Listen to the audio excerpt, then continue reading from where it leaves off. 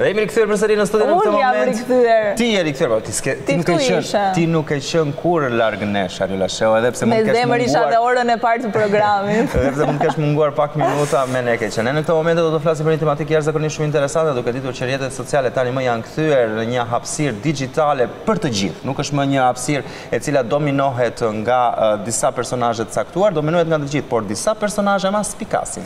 Krijohet network-u, ka fitime patjetër në rrjetet sociale dhe është ka shërbyer si trampolinë edhe për shumë personazhe për t'u bërë të njohur edhe për publikun. Dhe pikërisht prandaj ne na tërhoqi vëmendjen kjo temë dhe kishim dëshirë ta diskutonim me një panel ekspertësh të fushës. Sigurisht flasim për fushën e marketingut, se në njëfarë forme imazhi është marketimi i mirë i vetes.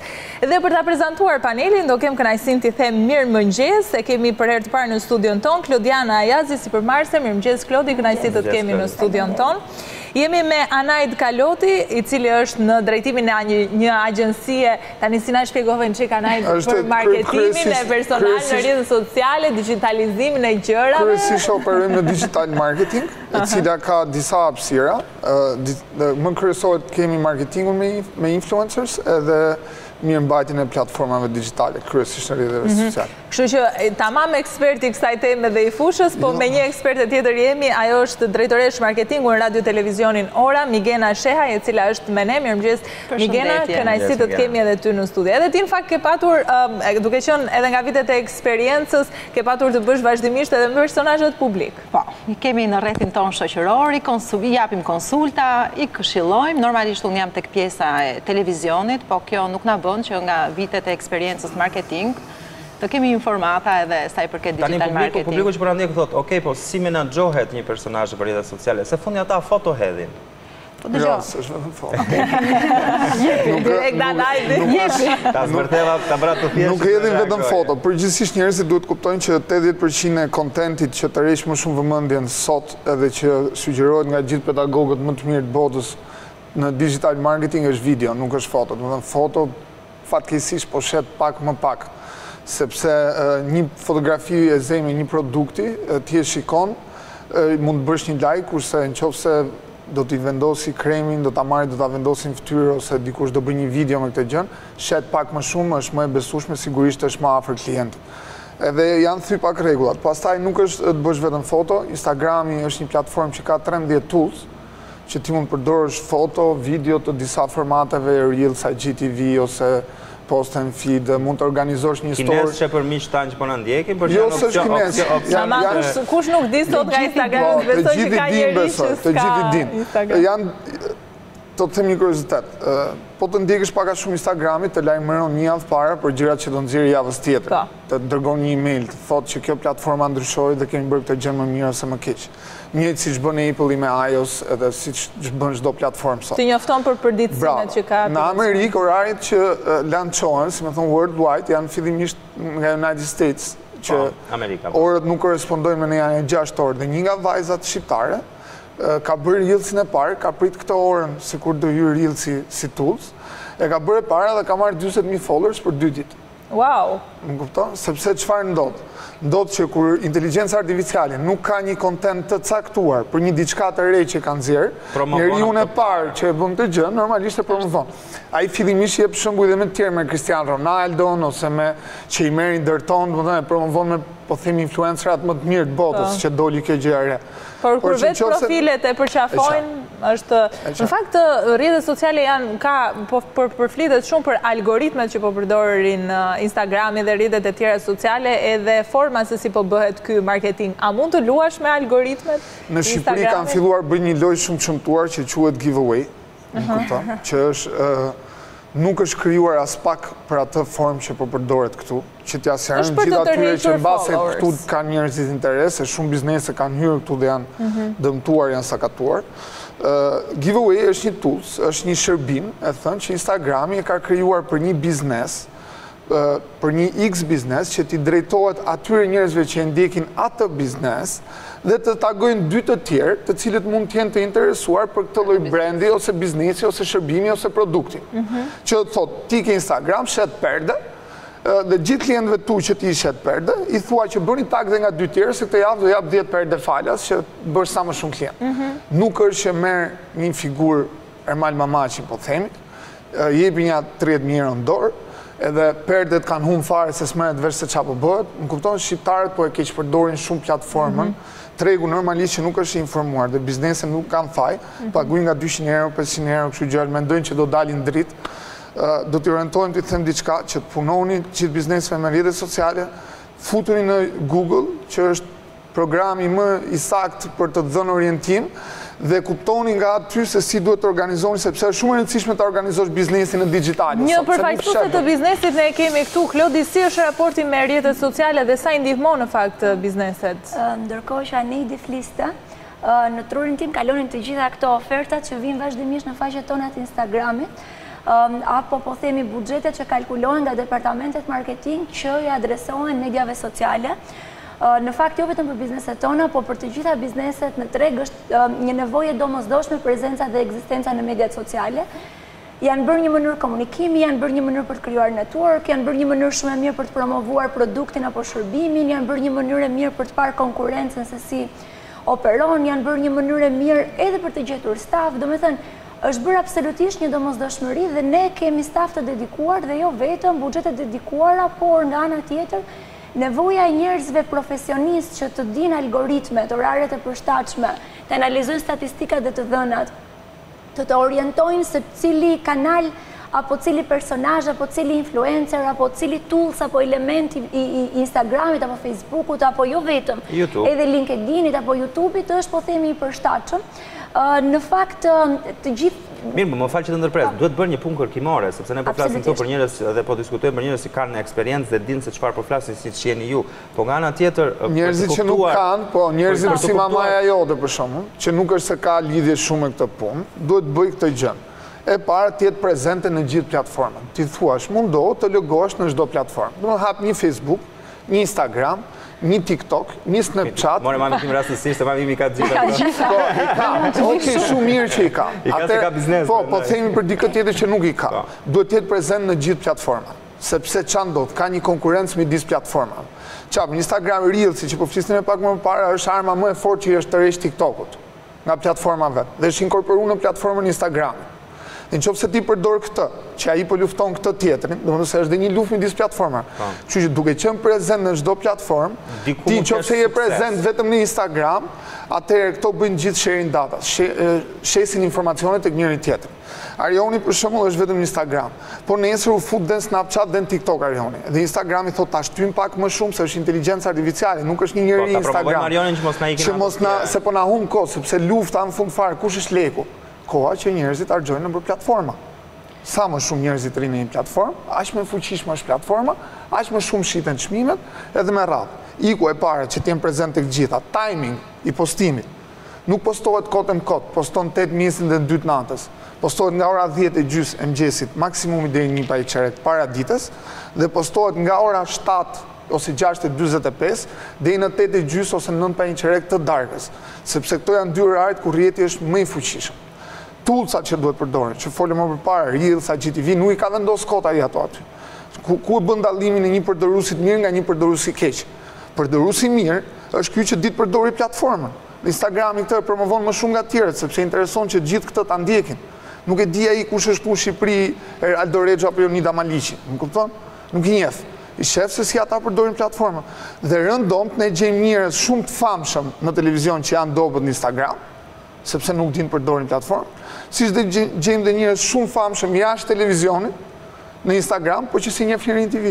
Po që s'i njeh njeri. Ndërkohë që për të menaxhuar, ama kjo është një mënyrë e mirë për të menaxhuar bizneset, po personazhet, a mund të funksionojnë në të njëjtën formë? Doja të ndalesha po. para se të kalim te kjo pyetja, se këto janë detaje shumë specifike, që unë ju siguroj në takimet e mia të përditshme, unë takoj shumë biznese, çdo ditë, minimalisht 6 deri 7. Dhe unë ju siguroj që këto terma që Anajdi përdori, shumë kompani po të fuqishme, po që kanë edhe vite në treg, nuk kanë asnjë lloj informacioni. Dhe këtu do futet pastaj në lojë Anajdi me agjencinë e tij. Të jap një lajm të mirë, ne po krijojmë një stacion dixhital. Domethënë nga një kompani e vogël, duke qenë që fluksi i punës është shumë i madh dhe ne nuk e përballojmë dot më, do bëjmë një stacion dixhital, siç është një stacion televiziv. që do merremi dhe me këto kompanitë e mëdha që momentalisht nuk kemi kohë që të merremi, por që janë shumë. Ka një problem shumë të madh. Ti je pjesë e Share-it dhe të vijnë mesazhe çdo javë, besoj, se si të informohesh për tullsat e ri të përkthyera në shqip nga ne. Siç njëjtën gjë që bëjmë me influencers, do ta bëjmë me gjithë bizneset. Që të paktën të informohen, që mos të hajnë kështu bryla, sepse është një luftë shumë e fortë dixhitalja, është më konkurrente se trotuari Myslym Shyri. Po duket që paratë aty po qarkullojnë, po Migena? Jo, doja të vazhdoja këtë që dhe problemi i kompanive, i këtyre kompanive të mëdhaja, që unë konstatoj, është që fatkeqësisht ka dhe kompani që nuk kanë një drejtues marketingu, nuk ka një departament marketingu. Tani unë nuk dua të flas me terma konkret apo me emra biznesesh. Aman se po na vret marketingu o Seti. Një prishku vetë, s'e kupton kjo është. Është e vërtetë që nuk kanë. Është më e lodhshme besoj për ju të diskutoni me drejtorin sesa me një ekspert të fushës. një luftë psikologjike, tani këtu nuk ka të bëjë vetëm marketingu dixhital ë, se e hapim pak temën e diskutimit. Mos flasim vetëm për për terma që mami im realisht nuk i nuk i njeh fare. Mami jot i njeh sepse është biznesmene, po shumica e njerëzve, po edhe personazhe publik më beso që nuk i njohin fare se është pastaj ajo që ti the, ka personazhe që nuk janë të njohur por kanë statistika shumë të larta, ke emra pastaj që kanë vite karrierë, janë shumë, shumë lart në treg për emrin, për figurën, për imazhin e tyre, ama nuk funksionojnë shumë në social media, sepse ka mungesë informacioni. Dhe po thoja që është realisht... Ose nuk e kanë me dëshirë për të ekspozuar në rrjetet sociale, është edhe çështje fokusi. Po, në një situatë, po, me periudhën e pandemisë që kaluam, të siguroj që gjithë personazhet VIP... U përfshin, u përfshin. U përfshin dhe ata të cilët nuk kanë pas informacion, kanë patur dëshirë të marrin informacion Se duhet të mbajnë një kontakt me njerëzit këngëtarë. E para për të mbajtur kontakt, po edhe për të rritur të ardhurat e tyre, sepse sidomos në pjesën e personazheve VIP, artistët, këngëtarët e tjerë e tjerë, dihet që situata ekonomike, financiare ka qenë goxha, goxha bosh e ulët. Po më ra pika. Ne flasim për tregun shqiptar. Kështu që po thoja, është shumë e tmerrshme realisht kur ti shkon si një përfaqësues i një media apo një agjencie, Të takosh një biznes dhe ke një luftë psikologjike, përveç se ti patjetër do flasësh me termat e marketingut, terma ekonomikë, do bësh propozimet më të mira duke i drejtuar biznesit atë çka biznesit i bën punë dhe në fund ti ke një lodhje, bën teori pa fund dhe ndoshta ndoshta mbetesh i zhgënjyer sepse edhe nuk të ka kuptuar.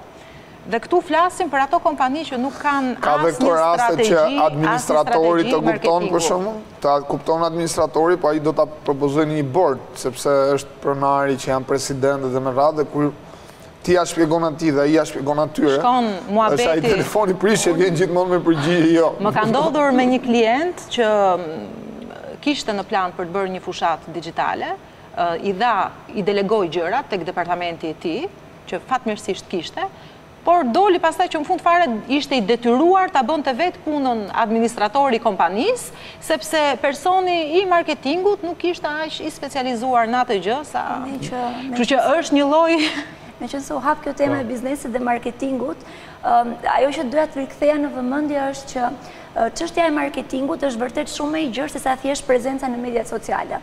Dhe çfarë ti hedh në mediat sociale, nuk mjafton vetëm një foto, një video apo të ndjekësh reels-in, po patjetër ti duhet të kesh një kontent edhe një mesazh dhe duhet të jesh i pëlqyeshëm apo duhet të kesh disa vlera për të përcjellë, qoftë si biznes, qoftë si individ. Ky është thelbi kryesor që duhet kuptohet. Dhe unë nga eksperienca ime shikoj që ka dy lloj përdoruesish të mediave sociale dhe do të mbështes pastaj dhe në termat e Pse marketingu shikohet si një gjë që mund ta bëjë kushdo? Ka dy lloj përdoruesish. Jemi amatorët që hedhim foto, video, përpiqemi të shikojmë kush janë tendencat apo të lexojmë ndonjë element nga profesionistët, por janë edhe ata që e kuptojnë që mediat sociale janë realisht një burim shitje dhe janë realisht një kanal i cili kërkon investim dhe në kuadrin që e kuptojnë që do hedhin ca lekë dhe duhet presin një feedback, nënkontraktojnë disa profesionistë apo disa agjensi. Kështu që këtu duhet të bëhet ajo ndarja e qartë edhe të gjithë personazhet publik apo po themi bizneset, që tashmë nga pandemia e mbrapa e kuptuan që është një domosdoshmëri. Mirë, po, që të ndërpres, jo çdo lloj investimi që ti bën në një rrjet social në formë marketingu duhet të përkthehet detyrimisht në shitje. Në para. Sepse dhe, dhe, bizneset. dhe bizneset nuk e kuptojnë këtë fushë. Ka dy lloj marketingu. Exact. Një që bëhet për brand awareness, që për shqipë, dhe një që është për sales. Për dhe në Shqipëri të pyesin, sa do, po, shesë nga kjo gjë? në Shqipëri janë të interesuar për shitje. Dhe ka disa metoda që shesin shumë mirë në digital marketing. Edhe shumë shpejt. Edhe frikshëm. Më kupton? Për shitje. Ka dhe këto tjerat që janë për awareness.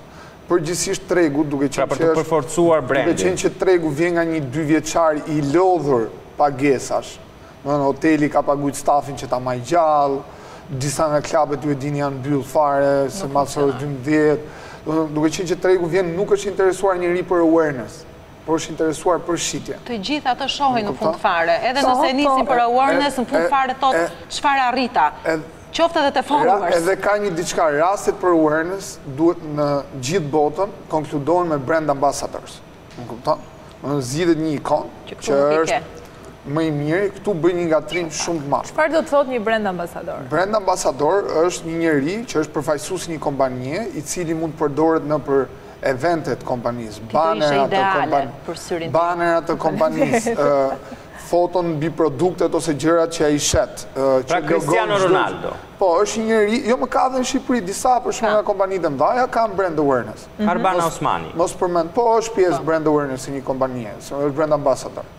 Mhm. Po, dhe cili është roli dhe... Dhe roli është kjo pra që krijon një lloj deal-i me kompani, që është kjo është pagesa më e lartë nga të gjitha, që mund të arrijë një person, kur bëhet brand ambasadori, ambasador i një brandi, e thënë shqip.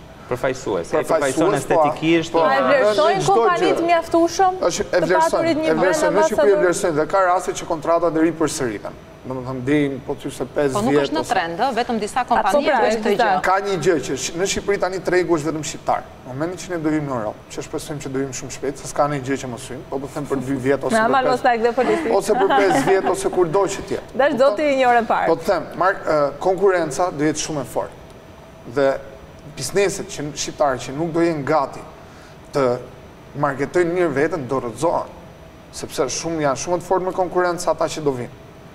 Nestle, ose ku e di, mos përmendim emra, mos bëjmë reklama. Domethënë... Në agriu po, marketingu. Në ja se do vijnë shumë shpejt, me ta kërësi. marketingu për vete e more, kështu që. Para prakë. Në qoftë se na dëgjojnë, le të vijnë e më kërësarë. Por që do jetë shumë e fortë situata, edhe duhet përshtaten sa më shpejt. Mbrapa të gjitha këtyre që kemi folur deri tani, që e kemi lënë dhe pa përmendur, është gjëja më e rëndësishme, që është webi i një biznesi. Më kupton? Webi për ata që po na ndjekin. Webi për ata që na ndjekin është www.oratv.com. Kupton? Ky është webi. Webi është ai që mbledh gjithë lekët në fund fare. Webi është ai që gjurmon klientët. sepse inteligjencat artificiale bashkëpunojnë me njëra-tjetrën, që do të thotë nëse ti blen një produkt te unë dhe unë automatikisht kam marrë emailin ty dhe ti atë emailin e përdor në një kompjuter shpie, do ta shfaqë reklamën aty, por do ta shfaqë edhe kompjuteri i burrit, do ta shfaqë edhe te laptopi i fëmijës. Më kupton? Webi tani është inteligjenca më e fuqishme artificiale e krijuar ndonjëherë nga njeriu, e-commerce. I qëndrojmë kësaj pike, duke qenë se Klodi ti je sipërmarrëse, cilat forma sheh më të mirat për të marketuar bizneset e tua? Ku e ke përqendruar atë fluksin e energjisë? Tani për ta kornizuar pak dhe për ta përmbledhur ose për të mbështetur çfarë tha Migena dhe Enedi, unë do thoja që për një biznes nuk bën sens të orientohet vetëm në një kanal. Vetëm në ekzistencën e një website, por bizneset është e padiskutueshme ekzistenca e një website, jo se parimisht... Për që po? Për të gjitha, për të gjitha, parimisht është bërë një lloj detyrimi. Jo të gjithë e kanë, them, në kërë jo të gjithë e kanë. Jo të gjithë e kanë, patjetër, por është bërë një lloj detyrimi që minimalisht të kesh një besueshmëri, kostot nuk janë aq të larta për ndërtim, për mirëmbajtje. Po ruan datat, po ruan faturat, po ruan klientët, i ke të gjitha... Jo gjithmonë, sepse website-et janë edhe informative, thjesht për të thënë që unë ekzistoj dhe jam një kompani që jam e besueshme dhe të informoj për çfarë unë bëj. Por është edhe e-commerce për këto që shesin online. Ka biznese që po them jo detyrimisht shesin online, ëh, siç janë kompanitë që unë drejtoj që nuk kam çfarë të shes online, po pa diskutim duhet të jenë po themi prezente. Po nga krahu tjetër, nga krahu tjetër, shërbimet nuk i shet. Jo, unë nuk mund të shes ndërtimin online. Shërbimet, shërbimet, se isha... Vetëm parimisht. Mund ta prezentoj, po, ne jemi kompani ndërtuese, dhe njëkohësisht po flas po, për webin, se biznesi tjetër që ne kemi është ndërtim website-esh. Edhe kur flas për website-et, flas për një portofol shumë të gjerë klientësh, po. edhe në fakt website-et kategorizohen pa dashur të hap diskutime dhe polemika në dy nivele informative apo e-commerce që janë të shitjes, dhe profilet e biznesit janë të pafundme edhe industritë, Dhe normalisht ka website që janë thjesht informative që tregojmë kush jemi historikun dhe që ne ekzistojmë. Po një Wikipedia e biznesit. Ajo është thjesht një faqe. Po, për ta ndihmuar Google-in që kur shkruhet emri yt ti të jesh prezent dhe të jetë si një CV. E-commerce është një nivel më i sofistikuar. Është një nivel më i sofistikuar që ti atë produktin tënd, klienti nuk ka nevojë të vijë fizikisht tek ty, paguan me kartë për hir të teknologjisë. Dhe jo vetëm klienti shqiptar. Por, patjetër. Sepse mund të shesësh në gjithë botë. Absolutisht. Ti që nga ky moment, fillon dhe lidhesh me blerësit e gjithë universit. A, në Shqipëri është pak e vështirë? Jo, por ruan data, blen, bën pagesa, ka po, shumë Kemi postën që... Po, pra të kuptova, Klodi, ku po. e çon pjesën më të madhe për marketingun kompania? E para, ne kemi një plan të strukturuar marketingu që e shpërndajmë për të ruajtur të dyja nivelet që thamë, edhe brand awareness, me terma të thjeshta. Brand awareness është që emri i kompanisë të jetë gjatë gjithë kohës i lakushëm në media të ndryshme, në mënyrë që pra, të bëhemi të besueshëm, të konsolidohet, po, sepse është shumë e rëndësishme që klienti të na njohë dhe të vijë vetë dhe të funksionojë dhe referenca. Dhe mos ta harrojë emrin. Vetëm mos ta harrojë emrin, se sado të bësh marketing dhe të hedhësh buxhete pafund, nëse ti nuk je një brand i besueshëm apo individët nuk të njohin dhe nuk ju kujtohesh në një moment caktuar dhe nuk je gjithkohën prezent, Jo gjithmonë të funksionon ai buxheti që ke hedh, pavarësisht sa euro hedh për për një fushatë shitjeje në Facebook. Ku e hedh? Nuk ka rregulla. Aktualisht në digital marketing. Nuk ka rregulla për këtë pjesë, e ke parasysh. Se mm. kemi dhe rastet e Mercedes Benz për shembull, që nuk bën fare marketing. Është një nga kompanitë. Çfarë kanë në brand awareness? Ku e hedh buxhetin? Është një nga kompanitë që shet vetëm me produkt. Dhe duhet ta saktësoj që po. digital marketing nuk është vetëm social media, mhm. por është një fushë shumë e gjerë që përfshin në fakt gjithë platformat e motorëve kërkimorë, Google-in. Se tani këtu doja të dilja, nga të gjithë këto forma që ti ke përdoru, kush të ka kthyer më shumë nga investimi që ke bërë? Do t'i kesh bërë të gjitha që të nxjerrësh një feedback. Në televizion, Klodi, ke bërë? S'ke bërë? Jo, sepse ne nuk e kemi të nevojshme, sepse janë industritë po themi po. specifike. Po Migena me siguri do thotë pastaj ne do pimë një kafe që ti të bësh reklamë në televizion. A pse ju po bëni dhe dhe bashkëbisedim dhe dhe Shikon panelet e marketingut një kafe të tre do ta pimë pastaj. Jemi në sales. Jemi po. në marketing. Ne na funksionon digital marketing duke kombinuar metodat e Google-it siç janë Google Ads, Google Display, domethënë ne paguajmë Google-in për të na rankuar ndër të parët për ndër konkurrentët tanë për fjalët kyçe që klientët tanë kërkojnë, tipikisht po themi ndërtim punime ndërtimore, website, e të tjera e të tjera, fjalët kryesore, sepse njerëzit atë tendencë kanë, po. jemi gjithë kohën në media sociale, edhe me pagesa, me buste, herë pas here, por edhe prezent vazhdimisht me një kalendar të strukturuar, website-in e mirëmbajmë vazhdimisht, sepse Anaidi e kishte shumë merak, Por ne përdorim shumë dhe po, përdorim shumë dhe B2B. Dhe lloji jonë i biznesit kërkon takimet B2B dhe prezantimet e shërbimeve. B2B për miqtë tanë? Business to business, ne kryesisht klientin tonë kemi bizneset, përgjithësisht, nuk e përjashtojmë dhe individin, po kemi bizneset, do të thotë unë i bie derës së Migenës edhe i them, shiko, bëj këto gjëra, mos ke nevojë për këto shërbime, Kush janë personazhet që më shumë shesin nëpër këto rjete sociale apo nëpër këto platforma dixhitale, do ta zbulojmë pas publicitetit.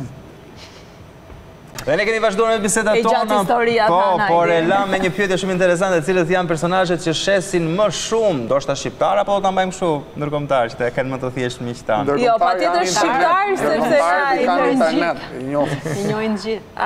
Na intereson pak tregu shqiptar, në fakt si tipologji më tepër është kurioziteti se sa si emra konkret. Pra cila është tipologjia që më shumë shet tek publiku? Forma e marketingut apo jo, personazhi, pra stereotipi. Tani ti bën një përzgjedhje, si e bën përzgjedhjen? Se ka shumë followers, se ka një besueshmëri në treg, se ka një seriozitet si personazh. emrat konkret të personazheve që... Tani ti po i ke qejf o Migena, na e thuaj këta emrat nëse mendon se janë. Unë e kam atë perceptimin tim kush janë në playlistën fiks të personazheve që për mendimin tim gjenerojnë shumë të ardhura nëpërmjet imazhit të tyre dhe këtu nuk ndalem vetëm digital marketing, sepse normalisht sidomos kur bëhet fjalë për brand ambasador është paketa është shumë gjithëpërfshirëse, përfshin që nga realizimi i spotit, imazh në postera, digital marketing, kudo. Prezencë nëpër TV të qytetit, më kupton, nëpër banera që janë nëpër rrugë, nëpër autobuse, gjithçka. Emri kryesor që unë do të thoja është Ardit Gjebrea, që për mua është një nga personat që di në thonjza, Të marketoj veten? Të marketoj veten, produktin, atë çka ai bën. Normalisht. Pastaj kontrata të mira që dimë që janë bërë, janë me Arbana Osmanin,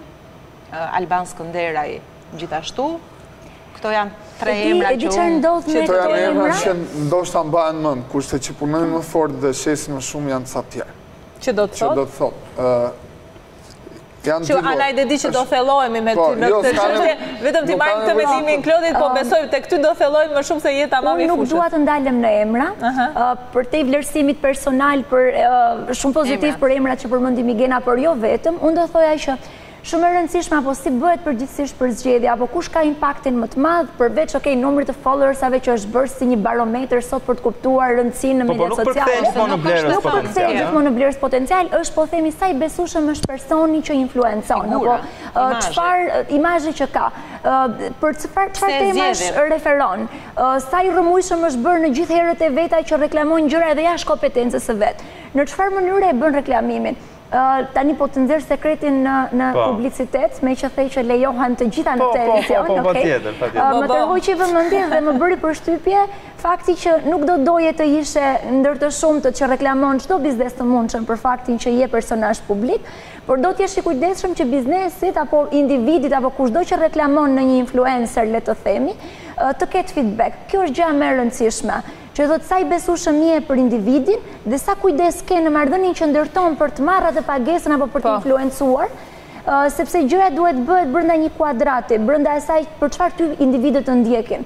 Kjo është gjëja më e rëndësishme që të paktën ne mhm. përdorim si si matës kur mhm. zgjedhim një personazh publik. Mhm. Tani ti po e kruan veshin të kundërt do të thotë se ke një stres të madh brenda vetë. Jo, jo, jo, s'jam dakord. Ka disa matës. Më kryesori është statistikat, sepse dixhitalia këtë ka që çdo gjë ta përkthen.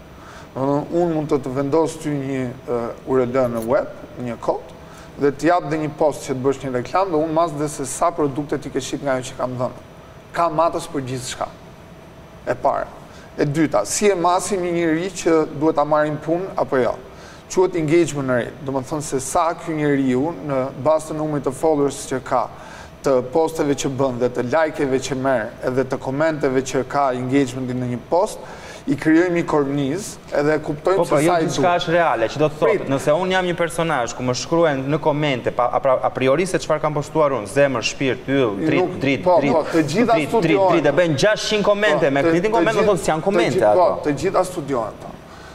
Ka një diçka që tridhjetë për qind e profileve të gjithë secilit janë fake, quhen suspicious users, domethënë user të dyshim, tek ty, tek unë, tek kjo, te gjithë, në gjithë botën bëhet fjalë, se nuk e kanë madh vetëm Shqipëri ata. Tjetra, që të arrijmë te kjo si zgjidhet personi, që mos t'i ikin pyetjes. Mbasi shohim këtë gjënë që ka. E para punës bizneset duhet të kuptojnë jo gjithkush shet gjithçka. Arjoni shet më mirë këtë gjë, se bën këtë jetë, ka këtë luks, është në televizion, mban këtë lloj veshje, këtë lloj kornize dhe e bëjmë gjithsekush nga ju është një avatar në rrjetet sociale. Ne i kemi bërë një kornizë, një prezantim. Ça bën më mirë, ça mund të shesi më mirë, ça lifestyle ka, ça luksi ka, ça jete bën, ça njerëzish frekuenton, ça grupi niveli shoqërie është, një inteligjencë plus artificiales, që do ta quajmë. Dhe mbasi e zgjedhim dhe personin, vijmë te kjo tjetra, a na bën punë vetëm Arjoni për të shit një produkt ose një shërbim, apo duhet marrim disa si ky? Sigurisht që duhet marrim disa. Pse? Sepse në rrjet shpërndarja është më e madhe. Nuk punohet më me një kanal. Punohet me disa kanale. Nëpër fushatat ku ti po ke qenë vetë prezent, nëpër fushatat ku ti ke qenë vetë prezent, në një video reels ju keni qenë 20 personazhe.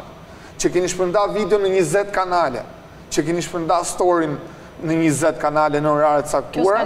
Pra atëherë pse të paguajmë një brend ambasador, kur mund marrim njëzet po, personazhe po, që të marë një barë nga strategia. Kjo e ka rrëzu strategjinë e brend ambasadorit, po shiten më shumë nano dhe mikro influencers, se sa brend ambasador. Sepse ça ndodh një njeri që ka 10.000 followers, ose 20.000 followers, që del përditë nga shpia dhe kujdeset vetëm për këtë instagramin që shesi kaq mirë. Asnjë kompani nuk analizon kështu, kjo është e pakta po e sigurt, sepse po si duhet, por në Shqipëri nëse flasim për tregun shqiptar, nuk funksionon. Do një njeri me 10000 Po kompanitë janë ato që e marrin në punë. Pse po ndodh kjo dhe pse po sugjerojnë që të bëhet marketing me nano dhe me mikro influencers. Me njerëz nga 2000 deri në 10000 follower dhe nga 10000 deri në 50000. Kështu ndahen këto dy kategoritë. Sepse, ky që ka pesëdhjetë mijë followers, mban kontakt me ata. Është një numër i limitushëm, që është përllogaritur që Arjoni deri në kaq i përballon, që t'i kthejë përgjigje, mesazhe, jo të jetë kot e merr e nxjerr atë dhe iku kaloje. Ky duhet përgjigjet për atë që shet. Do doja të sillja një element tjetër.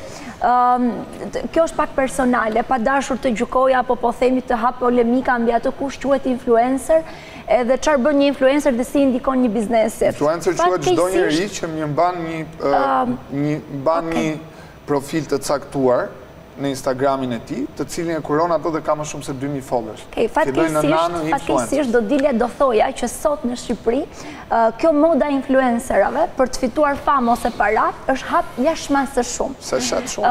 Po. Nuk e di sa shumë shet, sepse ne në eksperiencën tonë edhe me klientë, po edhe ne vetë, në të gjitha investimet që kemi bërë na rezultojnë që nuk është aq e suksesshme.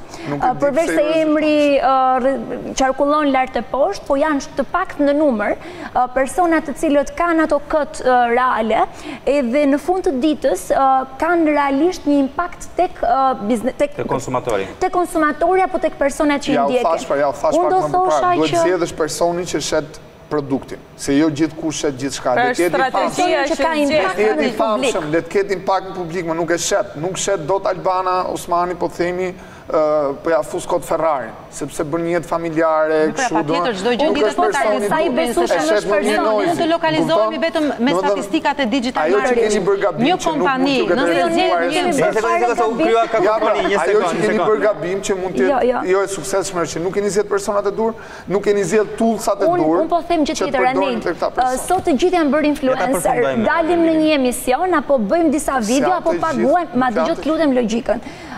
Sot ke mundësi të paguash. Kur thua të gjithë, ke informacion të saktë sa influencer janë në Shqipëri? Jo, edhe nuk më intereson me thënë të drejtën.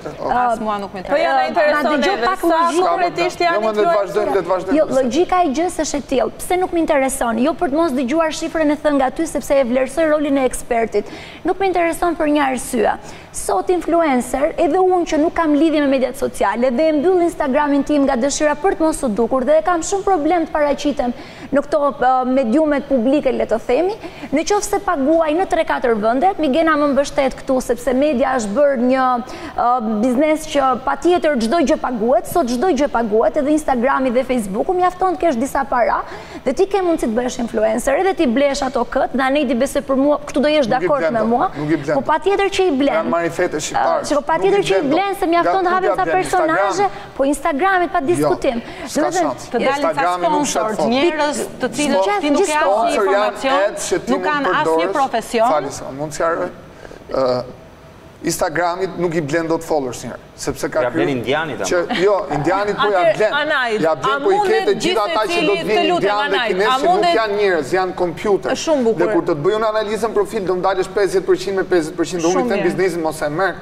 Tani, a mundet gjithsecili, më fal, më fal, jo, a mundet gjithsecili të bëhet një influencer?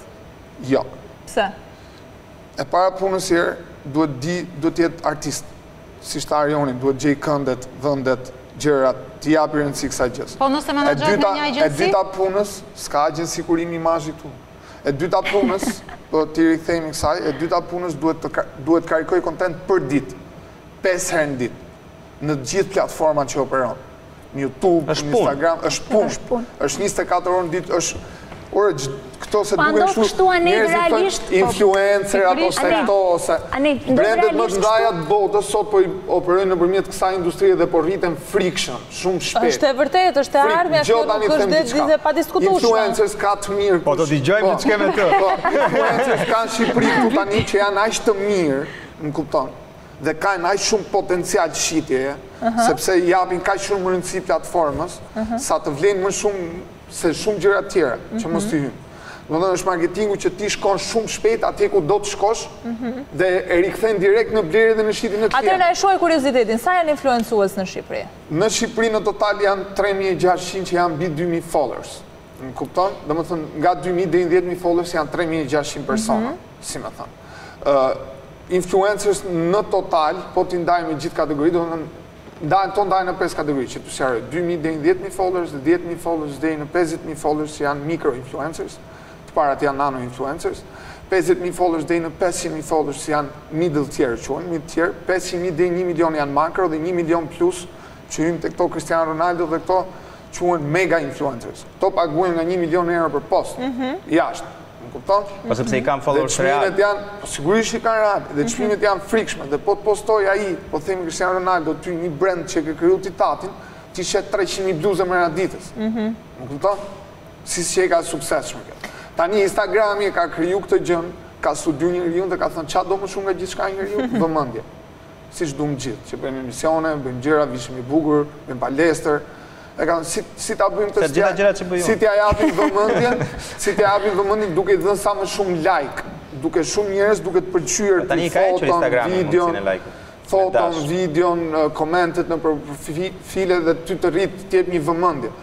Këto njerëz që nuk duan vëmendje, që nuk duan të përshtaten kësaj bote, që mund të jetë një nga këto dhe Ismail Kadareja dhe unë e respektoj shumë, më kupton? Nuk janë njerëz që merren me shitje.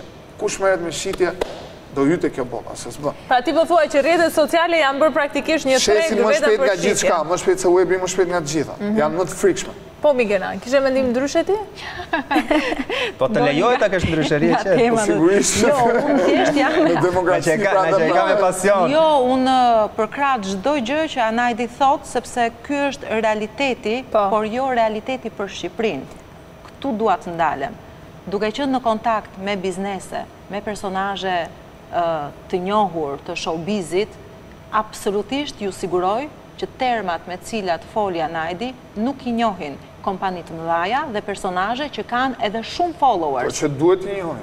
Du, absolutisht, e përkrah, përkrah faktin që edhe personazhet vip nuk duhet t'i bëjnë deal-et vetë me bizneset, nuk duhet të trokasin, personazhi vip duhet të bëjë punën që di të bëjë më mirë dhe ka persona marketingu të cilët duhet t'i përfaqësojnë, të bëjnë dealet me kompanitë Pra Cristiano Ronaldo nuk shkruan në Instagram me brendin për një milion nuk ka shanse. Kështu që më shumë se sa për të folur që bën dealin që të thotë sa story do bëjë Cristiano 5. Më shumë se sa për të folur për terma specifik digital, unë ndejta pak në heshtje sepse do isha më shumë për të folur për gjëra konkrete të realitetit të biznesit dhe të showbizit shqiptar, që do të thotë ajo që unë thashë pak më parë, kompanitë më të mëdhaja në Shqipëri, tani nuk flasim për kompani telekomunikacioni apo kompani tjera. Janë dhe në Itali dobët, jo vetëm në Shqipëri. Por ka shumë kompani të njohura që kanë mungesë informacioni, jo vetëm sa i përket digital marketing që unë jam e bindur që nuk kanë informacion,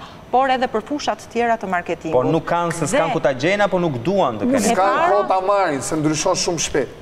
Në fakt unë mendoj që. Domethënë ecën me hapa më të shpejtë se njeriu. Shiko, Migenën e kemi tonën, ëh, s'po ma lë fare të flasë. Jo, nuk ka problem. Jo, i dash përgjigje pyetjes tate, i dash përgjigje. Sot në treg, sot në treg bizneset kanë pafund mundësi që të marrin informacion. Mjafton të shkosh në një agjenci profesionale të paguash. sepse çdo gjë paguhet. Ajo që ndodh me bizneset është që nuk i kushtojnë rëndësinë e duhur marketingut, nuk e kuptojnë. Mendojnë që marketingun e bën kushdo, sepse marketingu mendojnë ça po bën, hajt se po bën një reklamë, ça do bësh, do hedhësh një foto. Ky është problemi kryesor i bizneseve, i kompanive në Shqipëri. Nuk i japin, mungesa informacioni, mendojnë se duke bërë marketing dhe më besoni për këtë gjë, duke bërë marketing ose duke vënë një buxhet të caktuar parash për marketing, nuk ka rëndësi format e reklamimit, mendojnë në thonjza se është lek i hedhur kot, po të siguroj, të siguroj sepse unë e kam të përditshme këtë gjë, është e tmerrshme, po ky është realiteti shqiptar dhe këtu duhet të ndalemi. Si tha Trump, në një milion euro, në një milion dollarë, shtatëqind mijë do t'i bëja... Shtatëdhjetë përqind të vlerës do i bëja marketing. Sigurisht, ndërkohë që po, kompanitë, kompani shumë të fuqishme në Shqipëri, nuk kanë në fillim të vitit, se ne presim, ne departamentet e marketingut presim muajin janar, shkurt, mars, presim buxhetet që do ndahen. Dhe shumica e bizneseve nuk ndajnë fare buxhet marketingu, por ia lënë kohës. Domethënë, nuk kanë një plan, nuk kanë një person marketingu që ndoshta t'i bëjë propozimet konkrete, dhe pastaj për personazhet vip absolutisht që si kompanitë edhe personazhet vip duhet të drejtohen tek agjensitë. Tani pyetja, pyetja, se jemi drejt fundit, pyetja është, nëse një personazh nga hiçi, e bëjmë dot një influencer dhe sa kohë do na duhej për ta bërë, me të gjithë tre profesionistët këtu në fushë? Unë jam e idesë nëse Anajdi do merrte një person do e bënte. Mund ta shtysh, po kjo ka një diçka që ti mund ta shtysh, po nuk mund ta bësh. Pra duhet të ketë brumë, duhet të ketë diçka vetë. Duhet të jetë pak vetja, sepse në fund të fare ta thashë, gjithë shesin art. Video dhe foto quhen produkte artistike, të mira, apo të këqija, të dobëta, apo profesionale, me montazhe, apo pa montazhe, kupton me filtra, apo pa filtra, Është produkt artistik dhe ky emisioni që bën ti, hyn në art apo jo. Kur del nga këtu nuk është. Sidomos ky Jon. Nuk është një gjë që e bën kushdo kështu kot, më kupton? Është një vrarje, një brainstorm, një histori, një prezantim, ca personazhe, ca gjëra dhe e njëjta gjë është dhe me këta, disa nga njerëzit që e kanë kuptuar, nga influencer kanë krijuar dhe brendet e tyre dhe po shesin sot. Domethënë, vëmendjen që e morën në fillim e kanë kanalizuar në një iks biznes dhe nëpërmjet vetes shesin shumë mirë biznesin. Domethënë, të gjithë njerëzit duhet të kuptojnë që ta përdorin teknologjinë. Po ju e krijoni dot një personazh nga hiçi? Ne mund ta shtyjmë shumë fort. Po ti e kupton nëse e ka brumin dhe nëse e ka brumin ti e gjen rrugën. Por, që ta krijojmë nga hiçi do të duhen minimalisht pesëqind mijë euro në vit. Pesëqind mijë euro? Po, edhe e bëjmë më të famshmin në Shqipëri për një vit. E 500.000 euro... Dhe me këto shifra dhe me arti për të si të voli, po, a dhe pak më pak... Do të bëja dhe 500.000 euro, dhe famë shumë fare... Kam përshtypjen kjo temë, patjetër merr vëmendje dhe do do të... Pra. Do donte diskutime shumë më të gjera sesa vetëm ky një orë i programit tonë. Ne folëm për artin, Anajdi tha edhe emisioni që bëni ju është art, ndoshta unë dhe Arion nuk bëjmë një art të madh, po artistja që do të vijë pas edicionit të lajmeve, patjetër që është super talent. Ne në këto momente shkëputemi, ju themi faleminderit të gjithë miqve që kishim këtu në studio për të gjithë informacionin që na dhatë dhe ishte me të vërtetë një diskutim shumë interesant. Faleminderit Migena, Anajde dhe Klodi që ishit me ne.